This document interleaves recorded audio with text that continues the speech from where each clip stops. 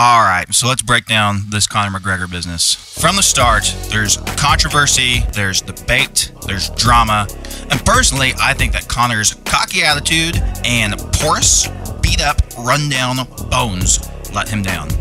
Let's talk about it. So at the start of the fight, Conor kind of looked pretty good. I, would like to kind of look at some of the things that that he did and more like maybe his mindset and like where he sort of fucked up because I think he came out with such desire for this highlight headline kind of win where he made like some tactical errors and maybe like some errors in his training. I don't know. You know, there's not a lot of like clear cut evidence to prove anything, but I don't know. I think it's kind of fun to like go through some of the thoughts and theories on things and sort of break them down. Early on, he was super kick heavy. He was doing some spinning kicks. It, it, was like a he came out the same way he did with Chad Mendes. I don't think he faked the glove touch, but he did throws a spinning kick right to the body. Throws a couple of them, and then he starts working on those legs. And so Dustin says that he thought he broke his shin checking the kick, and he pointed at him. But that when he points at him, it was his second leg kick of the whole fight. It was like a minute in, and the leg doesn't actually break till the end of the round. And if you look at it, it's Conor's foot that catches on the leg.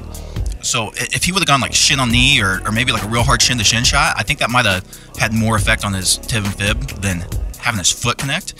So I, I mean, you've got these little bones in your foot that'll break super easy.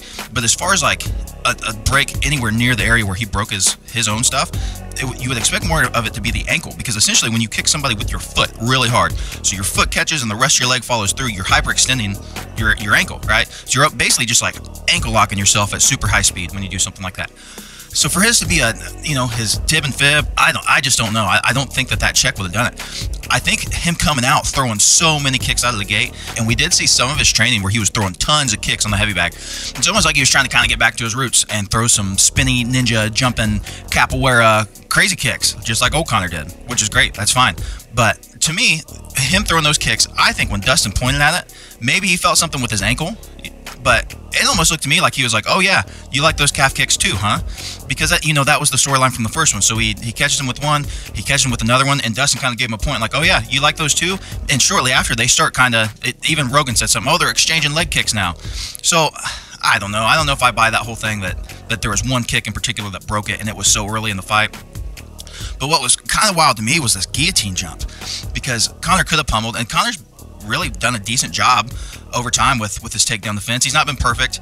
You know, obviously Khabib just smashed him, but like he did have some takedown defense against Khabib. With Chad Mendes, he did a great job getting against the fence, finding underhooks, and uh, Chad got him down eventually too. But Dustin really wasn't too deep on this takedown.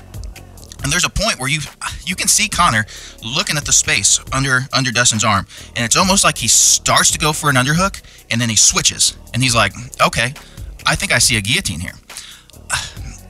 to me, knowing what we've heard about Conor, and maybe even thinking about the Donald Cerrone fight in his post-fight interview when he said, you know, what what a great what a great finish to catch him with a head kick, the guy with the most head kick victories in the UFC to catch him with a leg kick, you know, I think that after Dustin said over and over and over, oh, I feel like I'm going to submit this guy. Conor looked down and saw his neck and said, okay, well, let's do some fucking submissions then, Dustin. And I think he got cocky and got outside of his world and that early in a round, jumping guillotine is such a tactical error. And I don't think that it's it was a failure on the part of Conor's fight IQ or his talent. I think that's his mentality, where he is so focused on highlights and legacy stuff that he completely abandoned his strengths. Fails at the guillotine, winds up on his back. Eh, and the thing is, the guillotine, it, it could have maybe been there. I mean, he had so a guillotine. He had the he had the choke on his right side. So Dustin wants to hop over to Conor's left side to defend the choke, right? Just like uh, how OSP always does those Von Flue chokes, or I guess you can call them OSP chokes now. I think some people like to say, but you got to get to that other side because that that negates the entire guillotine. So the way that Conor had him, he actually had the safe side of the guillotine up against the cage. It should have made it harder for Dustin to pass over but what Conor didn't do was throw one of his legs up over Dustin to control his hips. So Dustin was able to wall walk, and even though he can't like do a traditional guard pass over to the other side, he was sort of like upside down OSP right there, where he was like posted on his head. So he's he's not passed per se, but he's still on the opposite side of the choke. He's just inverted. But instead of just trying to dig his underhooks and defend the takedown and get off the cage and start kickboxing with him again, he jumped a guillotine and he wound up on his back. And then the guillotine didn't work out because he kind of did a shitty job with it, if we're being honest. And he wound up on his back, and Dustin beat the piss out of him. And then while he's on his back, it didn't look like he was trying to get his feet to his hips and push off and get back to his feet or wall walk or anything like that. He was kind of trying to play jujitsu with him, which was nuts. Like get back up and start hitting him some more. And I think that was another another area where he had kind of said like, "Oh, you want mixed martial arts? I'm going to show you mixed martial arts. I can mix my martial arts as well as any of them." I don't know when you got the the, the jujitsu black belt beating the piss out of you and you're you're a kickboxer. I think you got to try to get back up, and that's not a it's not a skill issue necessarily. Like obviously Dustin's a better grappler. I think that the issue there is is less part his fight IQ and more his pride and ego getting in the way and trying to beat Dustin the way that Dustin was going to beat him.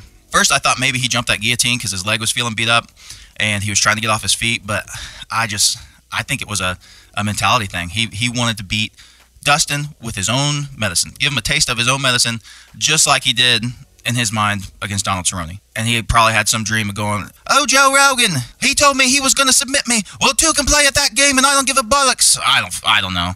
I don't know what accent that even was, but I tried. But I think he finally gets back up. His leg starts to break as he's rotating in. He's moving in to throw that throw that last punch, and you can see it starts to break, and then he steps back on it, just like Anderson Silva and Chris Weidman. And I don't know if they have like a support group or uh, like some sort of Facebook something where they can give each other positive thoughts and a 12 step program or something. I don't know. It was super gross.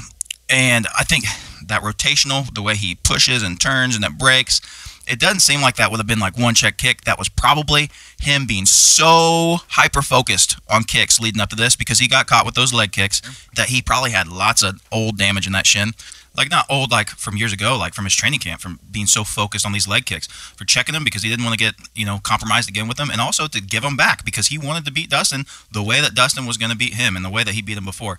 So he gets these micro fractures, and then finally a big rotational force from that punch just was the straw that broke the camel's back, and and the bone winds up snapping. It sucks for us because it's you know we would have rather seen a full fight. We didn't want it in like that, and it sucks for Dustin because Dustin won, but there's sort of an asterisk. Maybe there shouldn't be because Dustin beat the piss out of him. And even if we say like, well, if Conor would have stayed on his feet and not tried to do this and that or whatever, then it would have gone different. But the fact of the matter is, Conor did. You know, he jumped a fucking guillotine.